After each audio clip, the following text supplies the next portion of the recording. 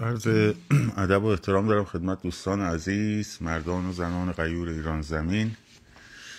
امشب هم به روال شبهای قبل در خدمتون هستم با سلسله گفتارهای پیرامون انقلاب. همینطور عرض ادب دارم خدمت عزیزانی که ما را از طریق پادکست رادیو محسا میشنوند و همینطور مخاطبان محترم کانال تلگرام هر روز یک گوشه.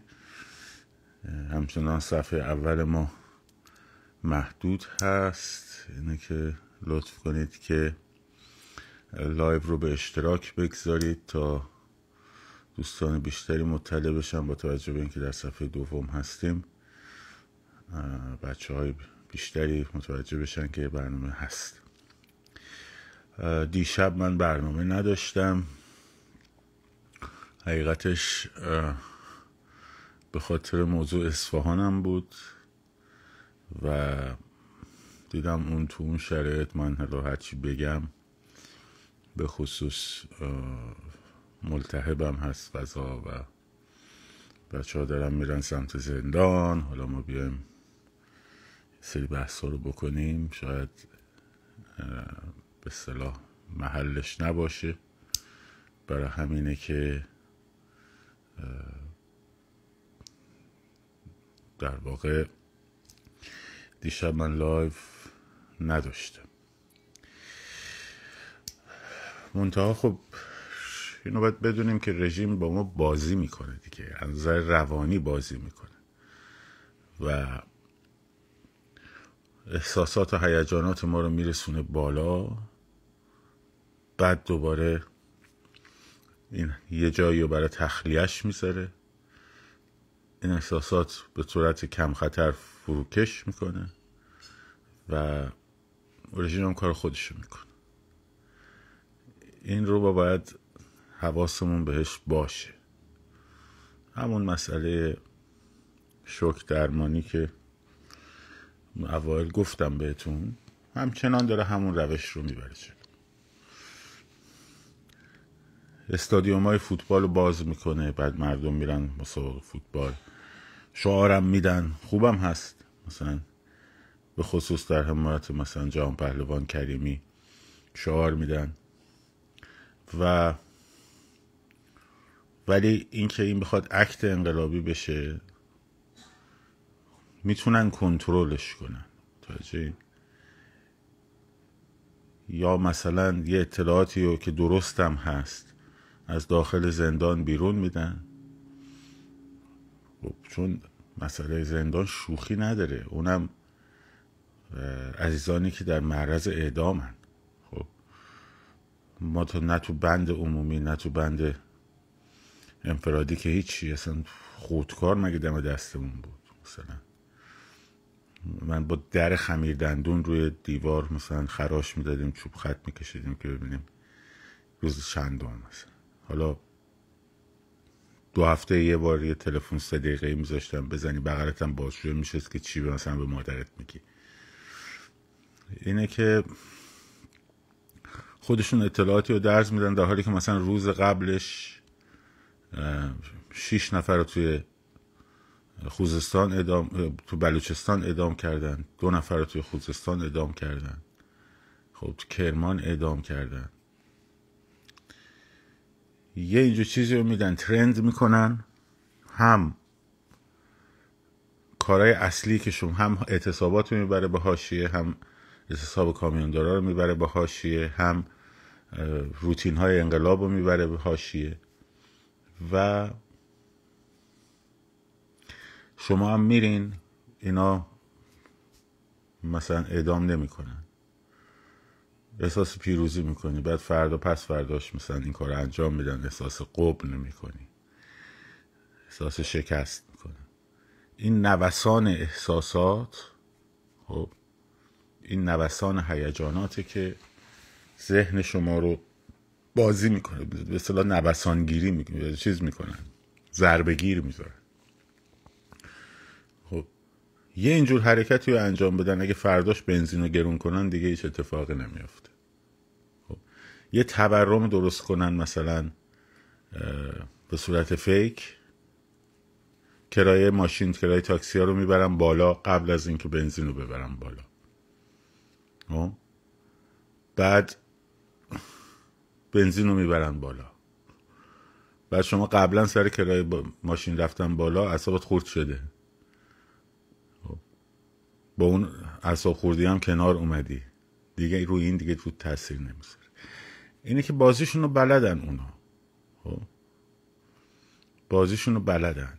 و این مهم اینه که ما بدونیم آقا جان مثل من بارها گفتم مسیر متوقف کردن حکمای اعدام خب از بعد و صدور حکمه نه از اینکه بگم فردا اینا رو اعدام بکن به محض اینکه این حکم صادر میشه مردم باید معترض بریزن تو خیابون تو همه همه خیابونا. خب تو همه شهرها. نه اینکه مثلا ش... بگم آقا فردا قرار اعدام بشه بعد بلنشین برین دم زندان. برین خوبه. من هم نگفتم نه خودم هم گذاشتم. اون موقع به هر حال چاره نیست. ولی من می‌دونم که باز بازیه دیگه. بازیه. می‌خوان با حاشیه ببرن. اگر نکنی میگن که مثلا براش مهم نیست. خودتون ها مثلا خودتون اگه نرین میگن که به خودت میگی که دیدی نرفتیم اینجوری شد. بری یه مسئله دیگه است. برای همینه که ما باید بشناسیم حداقل این بازی ها رو. حتی اگر میریم خب بدونیم که فعلا پذیرفتیم که بریم بریم ولی فرداش تو باشم دوباره تو خیابون باشیم. نه اینکه فقط اون تایم عدم از آن صبح با ماشین را بیفتیم بریم دم جلو زندان.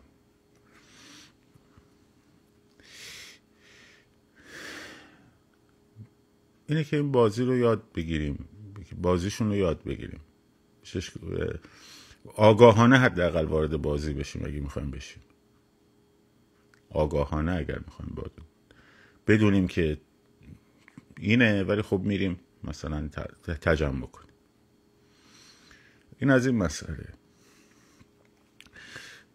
روز چهارشنبه ما هسته های جمعیتمون رو تونستیم تشکیل بدیم. یعنی شماها تونستیم تشکیل بدیم و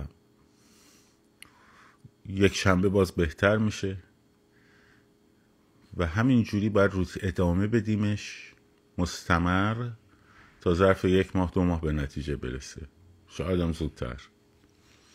تا اون جمع عادت بشه برای بچه ها این اصلا یه فراخان لحظه ای و نمی‌دونم روزی و اینا نیست. این یک فراخان تکرار یک یک حرکت تکرار شونده است. یک مثل زاهدان. مثل جمعه های زاهدان. این رو همیشه تو ذهنتون بذارید که ما قرار این حرکت رو مستمر انجام بدیم. بله تو, مدون... تو فلسطین جمعیت خوب جمع شد بودوار جمعیت خوب جمع شد. من مطمئنم در سعدی مخبر و دوله این سری این هفته جمعیت, جمعیت به ورود به خیابونم احتمالا می‌کشه. ولی در جریان باشیم که قرار با استمرار و گفتمان سازی هر شب اولا نه و هر روز. هیچ انقلابی تو شب پیروز نشده از این. دوم هر روز در واقع الان نمی‌تونیم هر روز داشته باشیم. چون باید اول رو روتینش شکل بگیره. به جمعیت برسه بعد اون وقت هر روزش می‌کنیم یه خجسته گفته بود چرا شنبه چهارشنبه؟ مگه روزای اول انقلاب هر روز نبود؟ خب خجسته. شما رو نمیگم یه خجسته. خجسته روز الان روزای اول انقلاب نیست. فهمش سخته. مثلا. که الان وقت انقلاب الان روزای اول انقلاب نیست. روزای اول انقلاب بود که تو تو صفت میذاشتی جوانان محلات تهران گفتن چهارشنبه ها بیاین تو خیابون شنبه ها اون موقع که ما می‌گفتیم هر روز باید باشه تو می‌گفتی شنبه چهارشنبه حالا که یه حرکتی شروع شده راست میگی خودت بذار. تو بذار هر روز. شکاری نداره که؟ مسیرهای شیراز رو داریم در میاریم و روش داریم کار می‌کنیم. مسیرهای رشت رو داریم روش کار می‌کنیم. برای اهواز داریم روش کار می‌کنیم. بچه های مح... بومی هر منطقه به دایرکت کارگروه نه من پیام بدن و بعد که این حرکت تکرار شد و تکرار شد و تکرار شد و مردم خودشونو پیدا کردن این اضافه میشه. روزهاش هم اضافه میشه. خیلیاتون در مورد لایو من با آرمین نوابی صحبت کرده بودیم. ممنون از توجهتون.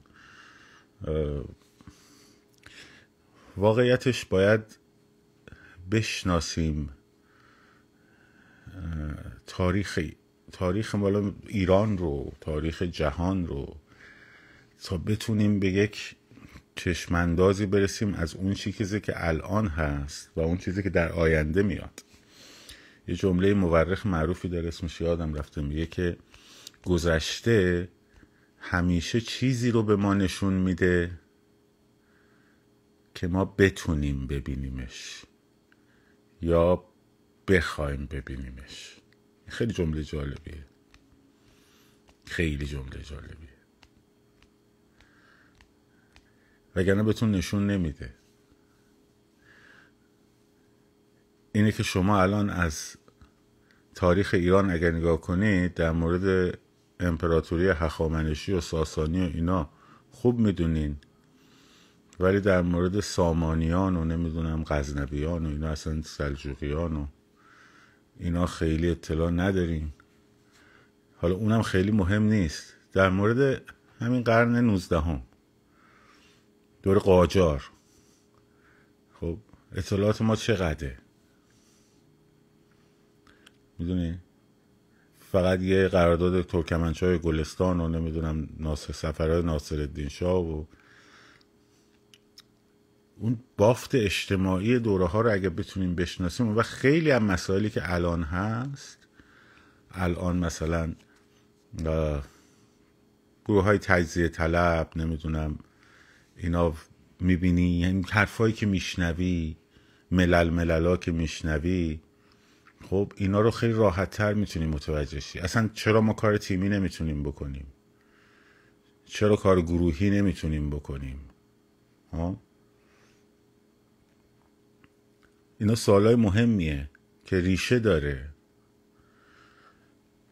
بافت جامعه ایران رو اگه نشناسیم در دوره پیشا مدرن که آثارش تا الان هست اون وقت نمی‌تونیم بفهمیم که مثلا کینه یه عده ای از من نباید طرفداری از پادشاهی پهلوی دارم میگم و نه. در یک فرایند تاریخی دارم میگم. کینه مثلا یه عده از حتی کینه اونایی که انقلاب کردن در سال 57 از مثلا محمد رضا شاه و رضا شاه چیه؟ ریشش. کجا هاست؟ آیا مثلا چه می‌دونم نفت رفت بالا عقاب اوپک نمی‌دونم قیمت نفت رو برد بالا آمریکا و انگلیس نشستن توطعه کردن انقلاب کنن یا مثلا روس ها اومدن فلان کردن. اینا بود صرفا مثلا.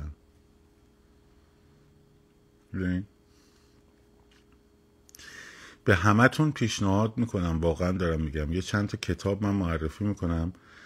حالا اول یه مقدماتی رو بگم که چی دا چی می‌خوام بگم مثلا چی دارم میگم. بعد چند تا رفرنس بهتون معرفی می‌کنم اینا رو حتما باید بخونی. خب؟ حتما باید بخونی. شاید بعضی هاشم بذارم تو کانال اگه پیدا کنم.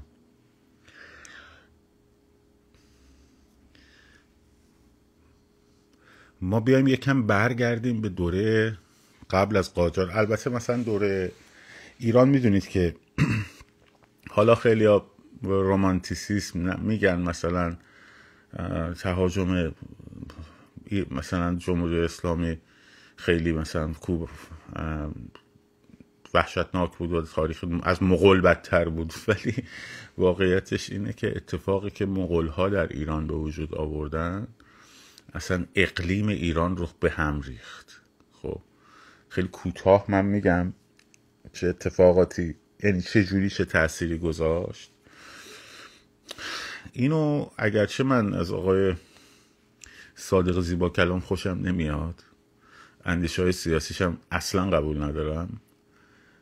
ولی یه کتابی داره به اسم ما چگونه ما شدیم که اون بخشی که در مورد هم آفرین اشاره کردن بافت شهری.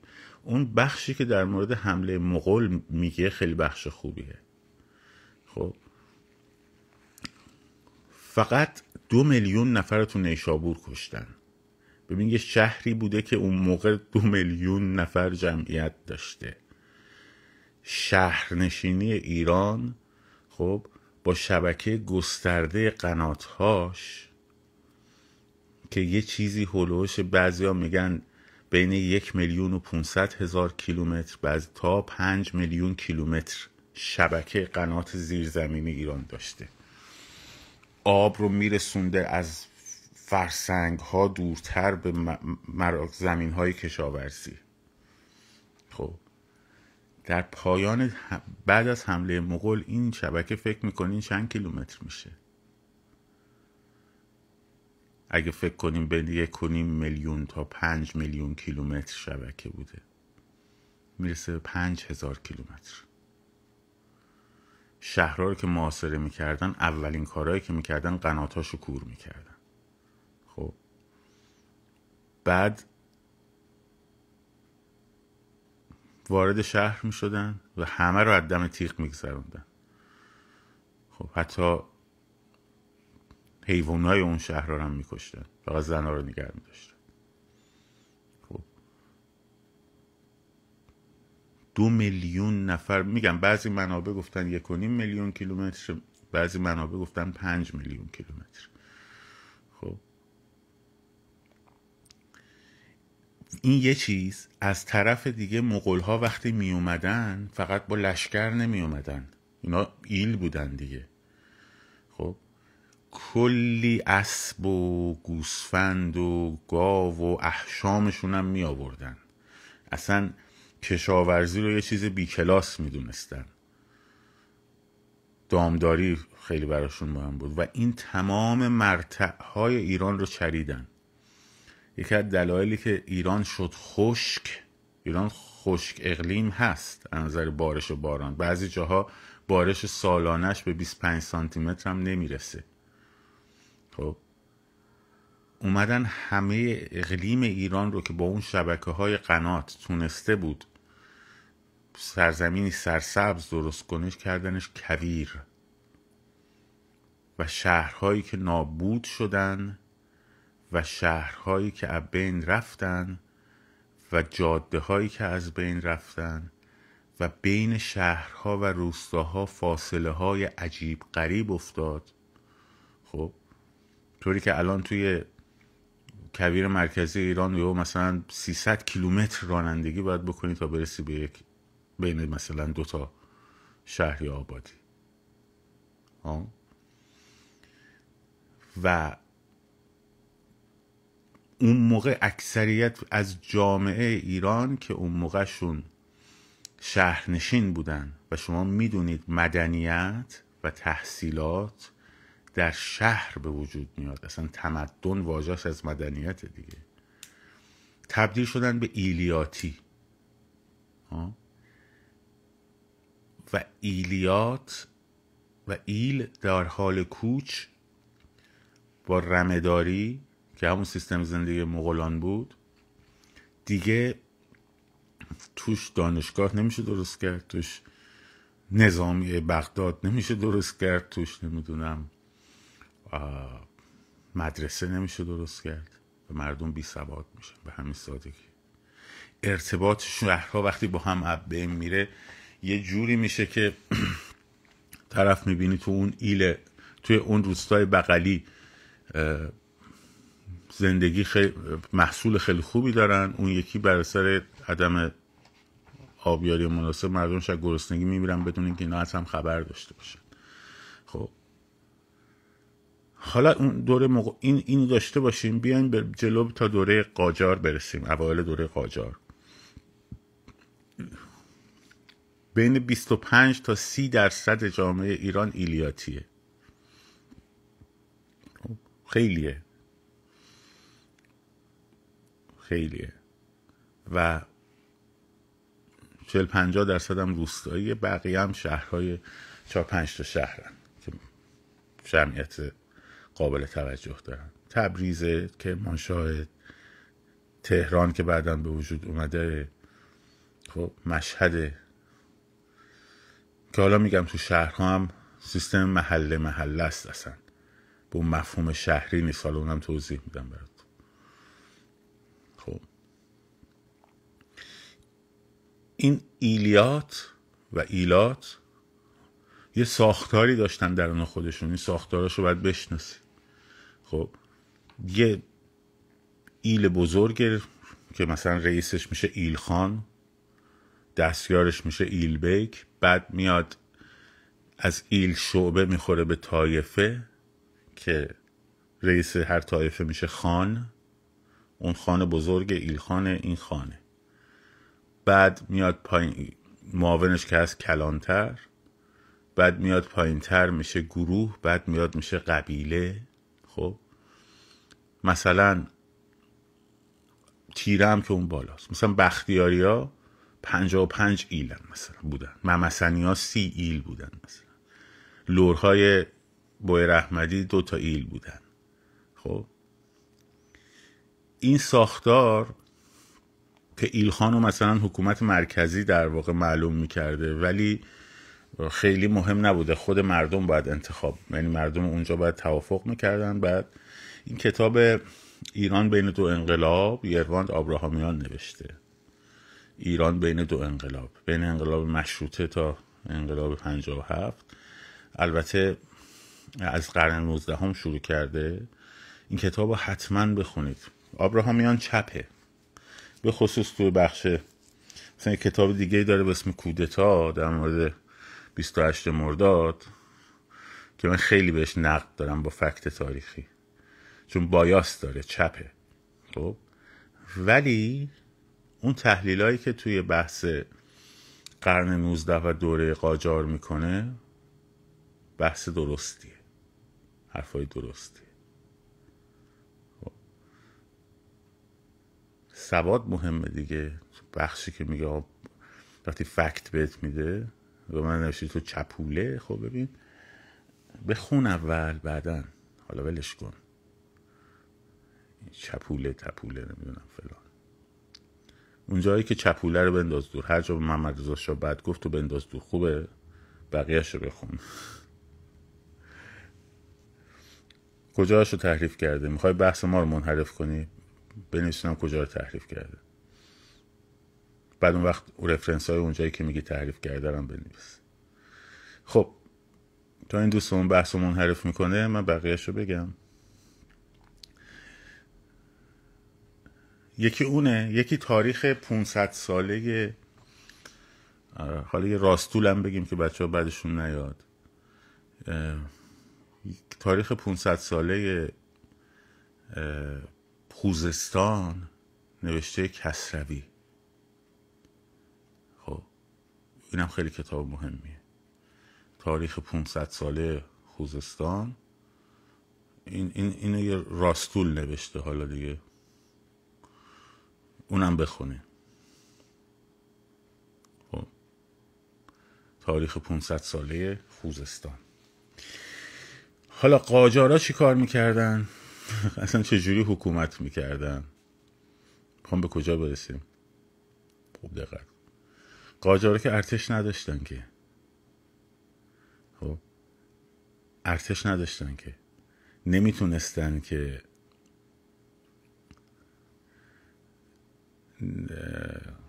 نمی‌تونستن که رفرنس اصل تو بده. بر اساس چی میگی تحریف شده؟ در مورد مثلا حزب توده کدوم میگه؟ مثلا اعتصاب آبادان رو میگه اشتباه گفته. خب. بعدش هم بذار حرفمون رو بزنیم بعدا. بیا بالا رفرنساتو بگو. مقایسه می‌کنیم. مثلا چه می‌دونم اگر در مورد ایران دو انقلاب میگی مثلا باید رفرنس معیار تو بگی. مثلا بگی جی جی مثلا لورمیر اینو گفته ولی آبراهامیان اینو گفته حرف لورمیر به این دلیل درستره که مثلا مجمع اسنادش اینه. من با تاریخ شوخی ندارم. خب؟ اصلا با تاریخ شوخی ندارم. گفتمم بایاس چپ داره.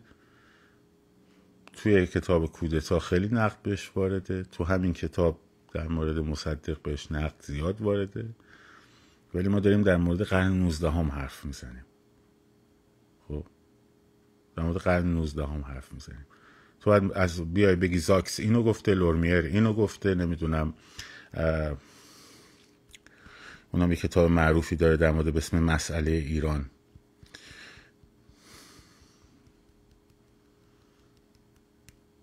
کی بود که بعد رفت بریتانیا؟ دیشب داشتم در موردش صحبت می‌کردم پریشب.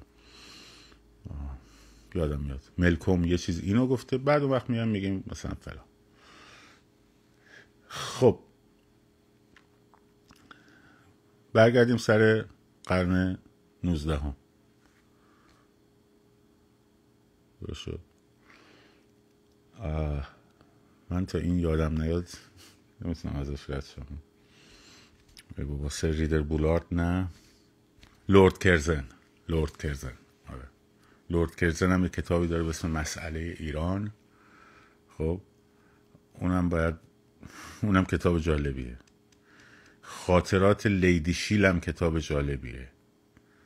خب همسر کلونل شیل سفیر کبیر انگلستان نوشته که در دوره امیر کبیر میاد ایران.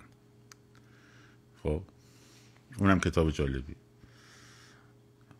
نه خوب شد گفتی اتفاقا چند تا رفرنس معرفی کردیم بچه ها بخونن. لورد کرزن. خب قاجارا چجوری حکومت می‌کردن؟ قاجارا میومدن بین خودشون چیکار کردن؟ خودشون اومدن ایلات رو متحد کردن با ایل بزرگ قاجار جونه جونه جاهای ایران رو گرفتن درست شد؟ که وقتی که آقا محمد خان در برای تصرف گرجستان رفته بود کشتنش بعد در واقع فتلی شاه اومد نشست جاش دیگه. شد شاه ایران. خب اینا که ارتش درست درمونی نداشتن یه ایل بودن مثل بقیه ایلا. شد؟ چجوری حکومت می‌کردن به ایران؟ خب اینجا رو آبراهامیان خیلی حرف جالبی می‌زنه. کرزن هم همینو میگه. میگه اینو کارشون این بود که بین ایلا تفرقه بندازن. یه تفرقه ای از قبل مثلا از دوره صفویه به اینور بوده هیدری نعمتی. ها؟ نعمتی ها درویش های طرفدار شاه نعمت الله ولی بودن. خب؟ هیدری ها مال یک طرفداران یکی دیگه بودن. مال محمد هیدر تونی میسین که تونی. اگه تو ذهنم درست باشه.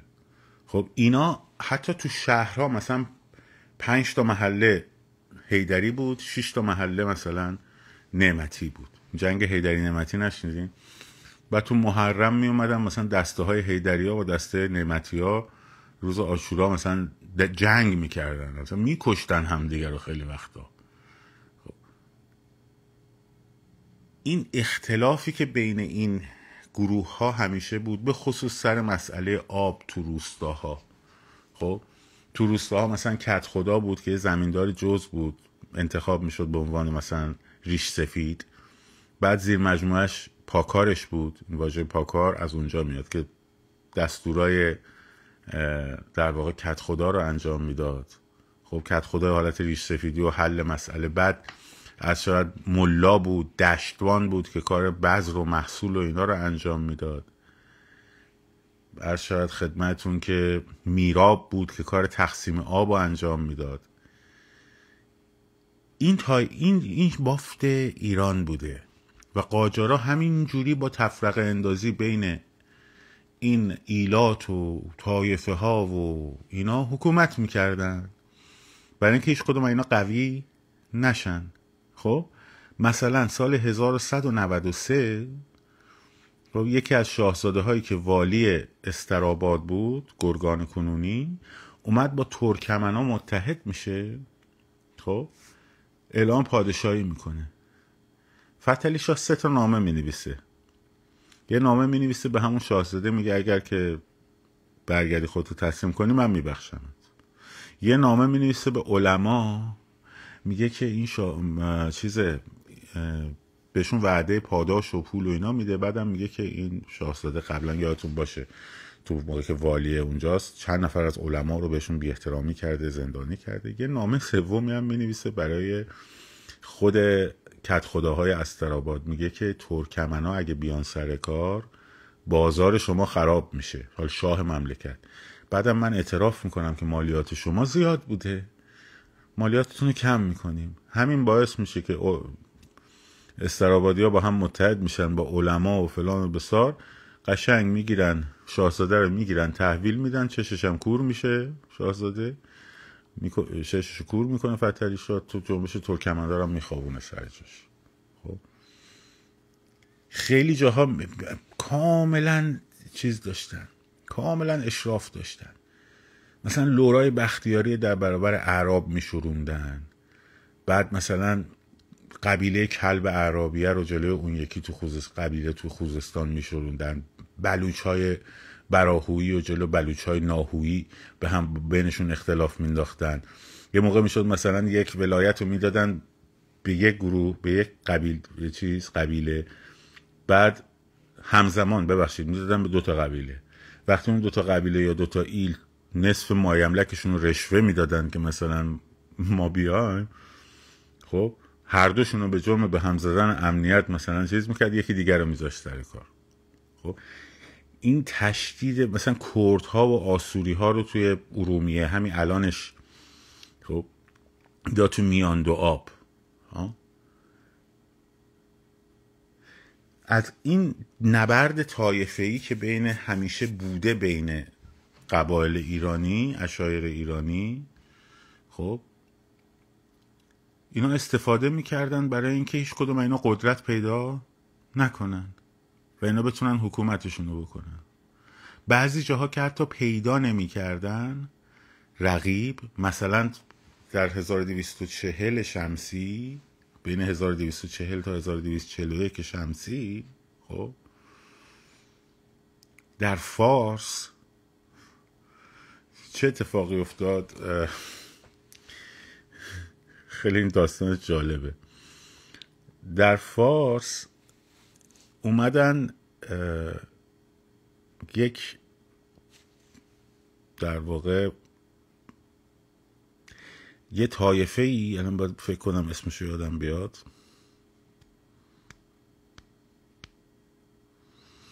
آها قشقایی های فارس قشقایی های فارس اومدن قبایلی رو متحد کردن با هم قبایلی که قبلا به زندیا کمک می‌کردن. خب؟ 120 هزار ببخشید 20 هزار تفنگچی استخدام کردن ارتش درست کردن شورش کردن؟ شاه اول اومد لورای بوی رحمدی رو با هم متحد کرد. خب علیه اونا بین بختیاریا و لورای بوی رحمدی یه اتحادی برقرار کرد. خب پسر حاج ابراهیم حاج ابراهیم رئیس بوی رحمدی ها رو گذاشت به عنوان والی شیراز. حاج میرزا کلانتر در اول. خب بعد با بختیاری ها اینا متحد شدن علیه اونا. بعد اتحاد بختیاری ها به هم خورد بینشون اختلاف افتاد. قشقایی ها قوی تر شدن. دیدن نمیشه آقا چیکار کنیم؟ اومدن یک یک کنفدراسیون ایلی تشکیل دادن از پنج تا ایل خود شاه قاجار. یک کسی رو به اسم قوام الملک گذاشت. خب این لقبایی که می‌بینی همشون ریشه های اینجوری داره. یه قوام الملکی رو گذاشت. اومد پسر علی پسر بزرگم حاج ابراهیم علی محمد خانو گذاشت به عنوان قوام الملک والی شیراز کرد. اومد بین فارس های باسری و اعراب و ترک زبان ها و ایل بخاللو ایل اینارلو پنج تا ایلو با هم متحد کرد گذاشتن ایل خمسه. خب کنفدراسیون خمسه. خب. یه گروه درست کردن علیه قشقایی های فارس. کارشون این بود. چهارلنگ رو مینداخت به جون هفلنگ. هفلنگ رو مینداخت به جون چهارلنگ. یه بار محمدشاه قاجار در واقع چهارلنگا رو در برابر هفلنگ ضعیف کرد. خب بعد, دو سال بعد اومد طرف چهارلنگا رو گرفت که اینا همیشه با هم درگیر باشن. اقوام ایرانی قبیله های ایرانی اشیره های ایرانی ایرانی و و و و ایلات. خب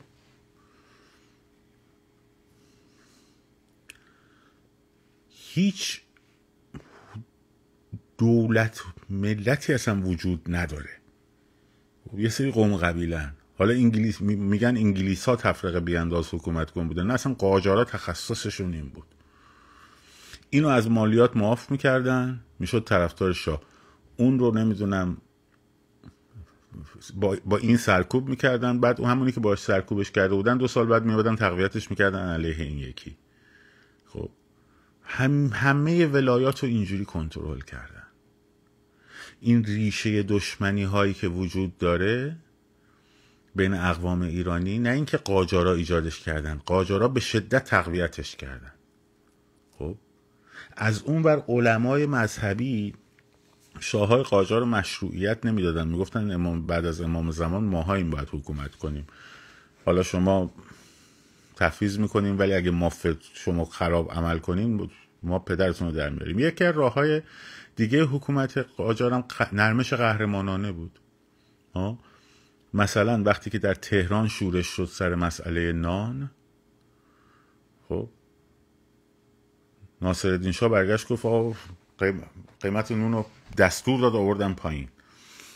خب؟ در واقع نرمش قهرمانانه کرد. یا مثلا همون فتوای میرزا رضای شیرازی خب در مورد تنباکو نرمش قهرمانانه کرد یکی از روشاشون هم این بود. اونجایی که نزدیک می‌شد بهش اون که می‌خواست چیزا از بحران فرار می‌کردن. تسلیم می‌شدن. تفرقه مینداختن تسلیم می‌شدن. خب. برای همینه که شما باید اون وقت اینو که نگاه می‌کنی می‌فهمی که حالا چیه مثلا؟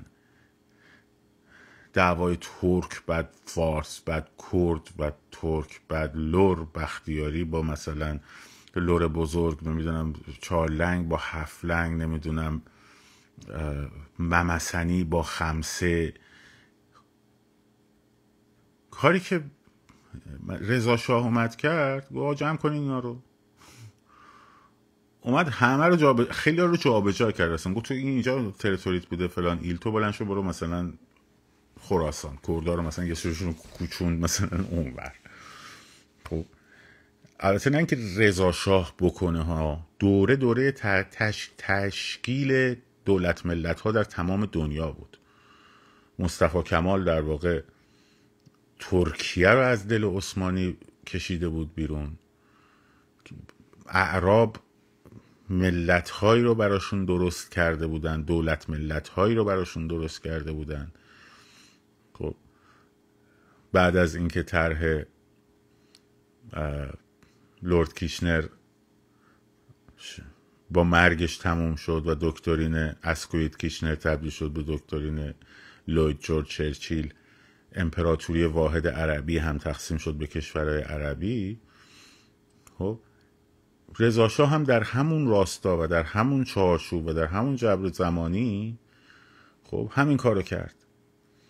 مثلا شیخ خزعل نعمتی بود اصلا. یکی از روش هایی که اینو کنترلش می‌کردن لک هایی که هیدری بودن و بختیاری هایی که هیدری بودن مینداختن به جون این. قاجارا اینجوری کنترلش می‌کردن که این می‌رفت به انگلیس ها نزدیک می‌شد. خب رضا اومد همه این سیستم ایلیاتی و نمی‌دونم اینا رو جمع جورش کرد. ملوک و توایفی و ایلخان و خان و قوام الملک و برای همین القاب و برداشت دیگه. ساختارا رو ریخت به هم. محله های شهرهای هیدری نعمتی رو اینا رو همه رو با هم ریخت به هم تو بلند شو برو اونجا تو بیای یکی از دلایلی که زمینا رو می‌خرید برای همین بود. خب اولم از شما شروع کرد. زمینا رو می‌خرید به اسم خودش؟ بعد میگم اینجا زمین منه؟ خب ملک منه. تو حق نداری اینجا بشین تو برو اونجا بشین. جا به جا می‌کرد.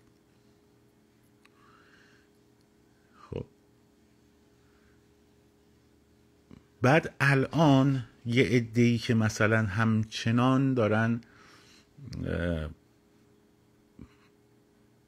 خودشون هم آگاه نیستن چه اتفاقی افتاده ها خیلی هاشون. خیلی هاشون می‌دونن البته.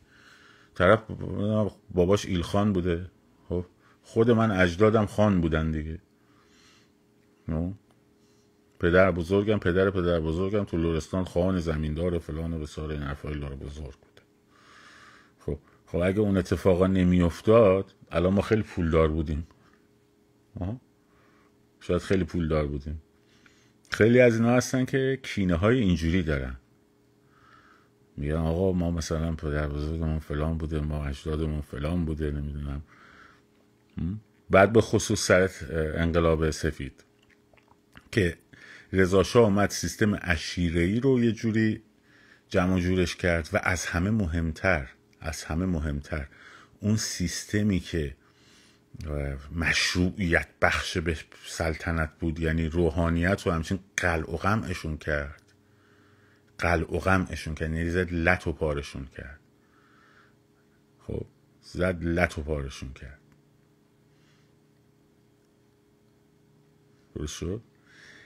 این باعث شد همون مشکل مشروعیت سیستم پادشاهی قاجار که مجبور بودن از زل الله از روحانیت بگیره خب از بین رفت. و یکی بزرگترین اشتباهات محمد رضا شاه این بود که اینا رو دوباره برگردوند. شیخ قومی رو از تبعید با سلام و سید قومی با سلام و سلوات آوردش تهرون خب ازشون دلجویی کرد. این آخوندا رو خب، در حالی که اون حرکتی که رضا شاه انجام داده بود اون حرکت ریشه ای بود. همون کاری که مصطفی کمال در ترکیه کرد. و اگه این برگردوندن آخوندا در دوره محمد رضا شاه و اون بهایی که به بهانه مبارزه با مارکسیسم در این تصور در ذهن جناب محمد رضا شاه بود نبود این انقلاب موفق نمی‌شد. خب پیروز نمی‌شد. یکی از دلایل پیروزی انقلاب 57 همین روحانیت شبکه‌ای که بهشون داد. مساجدی که چندین برابر شد آمارشون و تعدادشون. خود شاه ساخت براشون. خود شهرداری ها ساختن براشون. خب مسجد مسجد مسجد مسجد تو هر محل. خب. اون معکوسی که کشید از سیاست رضاشاهی همون باعث شد. یکی دلایل مهم اینه. دوباره برگشتن با همون اندیشه ها که همینی که الان داری می‌بینی ولایت فقیه و نمی‌دونم فلان و بسار این حرفا هست همونجا داره میاد. خب اصلا یکی از ویژگی های هیدریه بریم بخونین. باور به امر ولایت فقیه. و روحانیت شیعه است. بریم بخونین همین دعوای هیدری نعمتی. نعمتی ها دراویشتر بودن خب؟ این دعوای در متشر در واقع شریعتی ها و صوفیه ها صوفی ها یه دعوای خیلی قدیمیه. چند صد ساله است. تو, تو عثمانی هم بوده توی ایران هم بوده و و بالاخر حالا این این وضعیت کشور بوده. اینو باید بشناسیمش. چرا باید بشناسی؟ چون آثارش تا امروز هست. آثارش توی مناسبات همین انقلاب هست. اون که می‌بینی اون چپ بلند میشه میاد اونجا توی سوئد نشسته. صحبت ستم ملی می‌کنه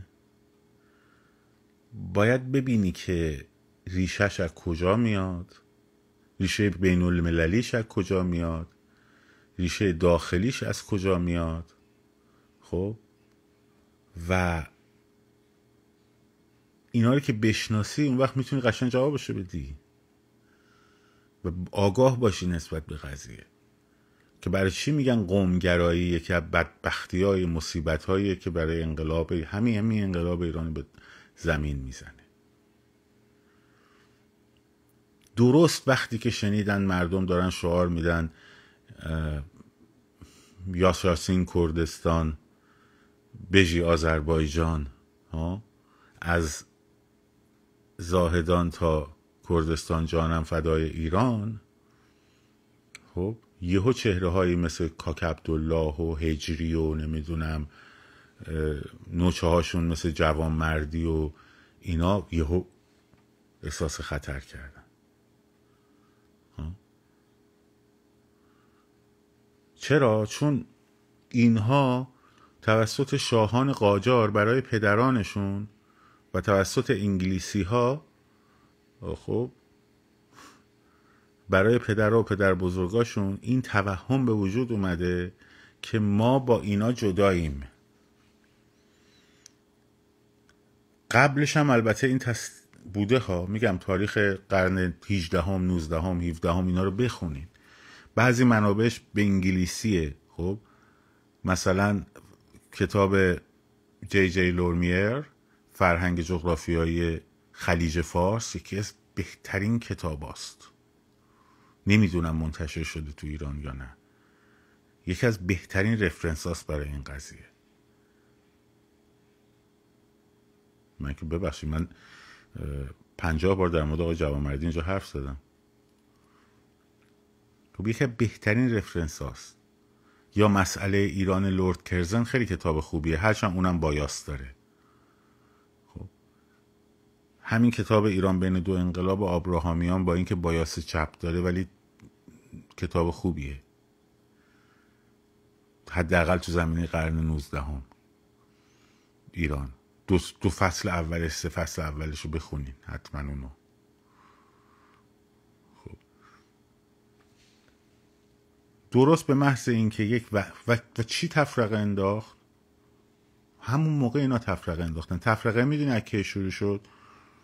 تفرقه چندین ماه پیش از داستان وکالت و اینا وقتی شروع شد که با همکاری جمهوری اسلامی ایران احزاب کردستان عراق خب شروع کردن به اینکه ما اینجا داریم ایران جمهوری اسلامی بهشون حمله کرد به شهرهای کردستان خب محاصره کرد جوانرود و فلان و بسار این حرفا. همین همین. اینا گفتن تهرونیا دارن شکلات میدن به هم. ما این که انقلاب داریم می‌بریم جلو. بعد یه دم اومدن تو فضای مجازی گفتن کردا که مسلح هستن چرا اقدام نمی‌کنن؟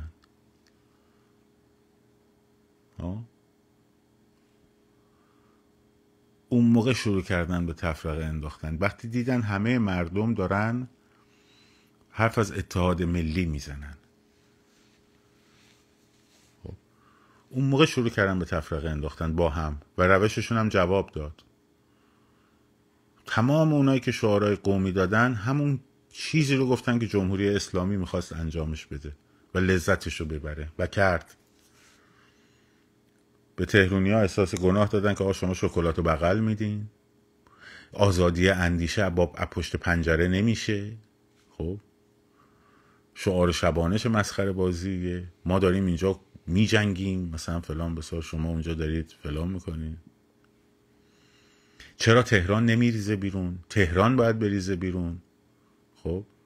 تا تهران نیاد بیرون اتفاقی نمیفته اینا دقیقا همه همون حرفایی بود که دهانهای تجزیه طلب و دهان جمهوری اسلامی و دهانهای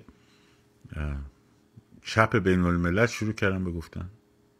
برای تفرقه انداختن بین مردم ایران خب انقلاب و زنانه بکن نمی‌دونم قبیله ای بکن اسم ایران رو روش بردار خب. یعنی یکی از مهمترین عوامل به حاشیه بردن انقلاب و تفرقه افغانی خب همین گروه های تجزیه طلب بودن. همینا بودن. آقای اسماعیلیون توییت به زبون پشتو بزنه برای بلوچا و چه مشکلی با فارسی زبانی که اونا بلد بودن داشتین؟ مثلا به پشتو بلدن مثلا بلوچا با پشتو با هم حرف می‌زنن مثلا سیستانیا ملل ملل و نمی‌دونم. تو همون منشور مسخره ای که شروع کردن به نوشتن خب همون منشور مسخره. شروع داستان سقوط خیابانی بود. این ماجرا.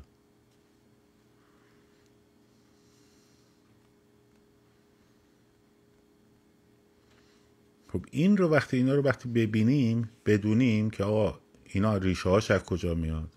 این اختلافات قومی ریشه هاش از کجا میاد؟ شاههای قاجار اومدن چیکار کردن برای اون قضیه مذهبی که گفتم؟ اونو یادم رفت. خب اومدن شعائر شیعی رو بهش به شدت بها دارن. تکه دولت. معین البکاها و روز نویسا و همین هیئت ها و خب بسیار بسیار شبیه دوره قاجار داره میچرخه الان ایران.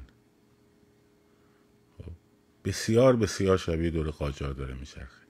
و بسیار بسیار اینا دوست دارن که خب اینا تمام مسئلهشون اینه که به جای آخوند شیعه دوباره سلطان قاجار حکومت کنه. همین. همین تجزیه طلبا مسئلهشون اینه. یعنی اگر که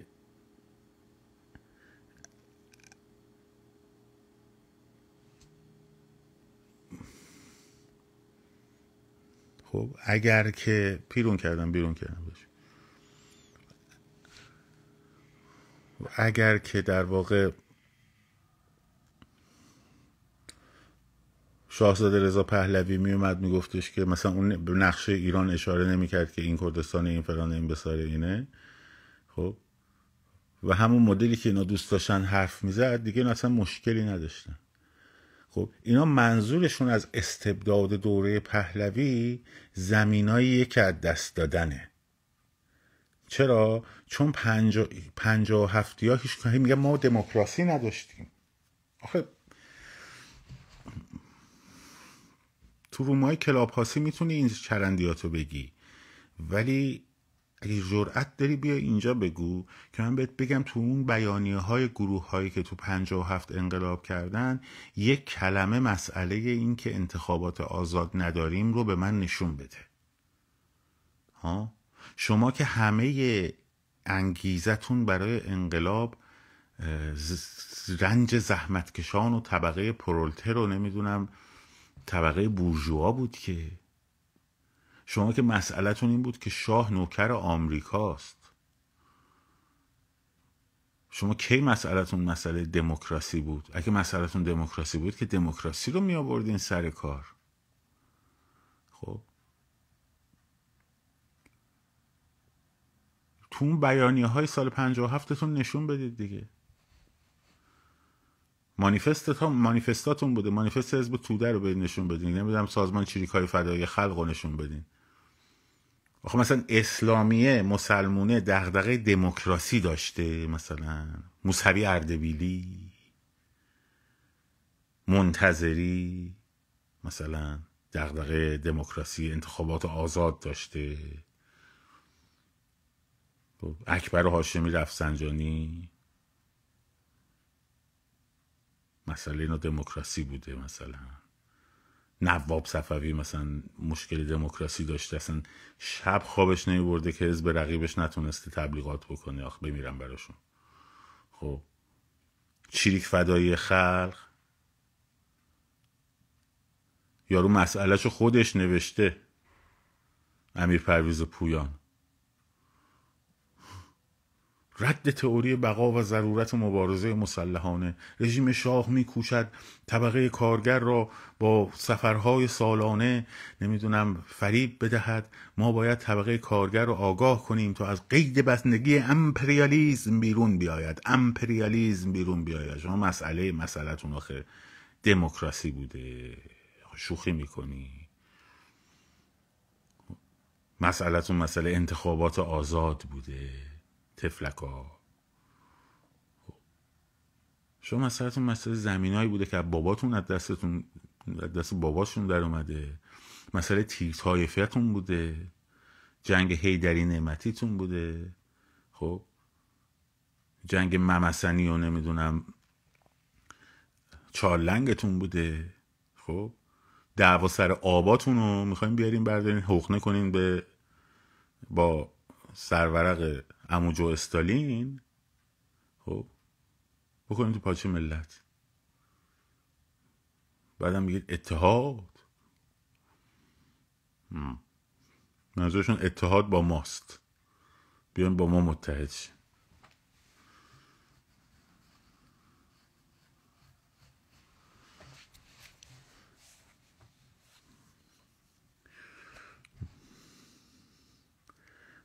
متاسفانه وقتی که آگاه نباشیم نمی‌تونیم هم درست جوابش بدیم خب. و اونا هم البته می‌دونن که دم پر کی بیان دم پر کی نیان. اون میلادم دستش در رفت اومد اونجا بالا.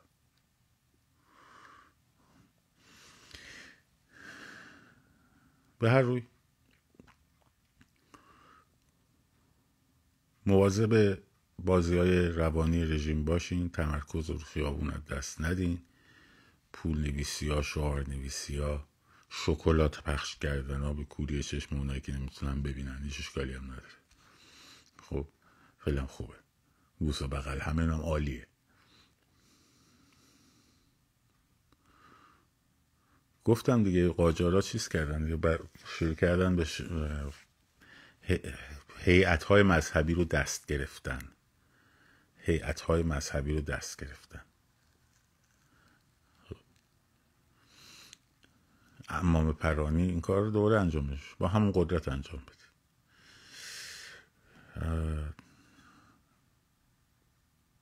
تاریخ رو هم که می‌خواین بخونین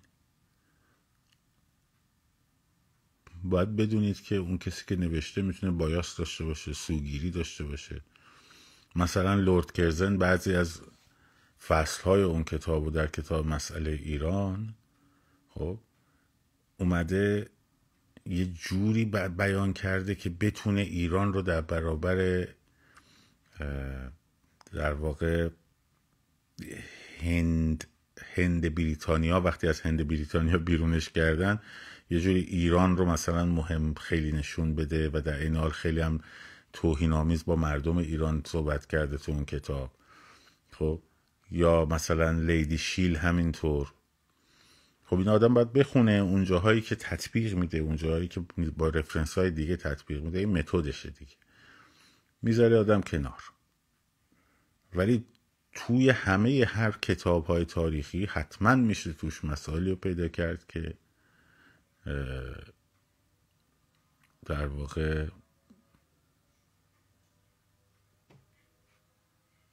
حقیقت توش هست.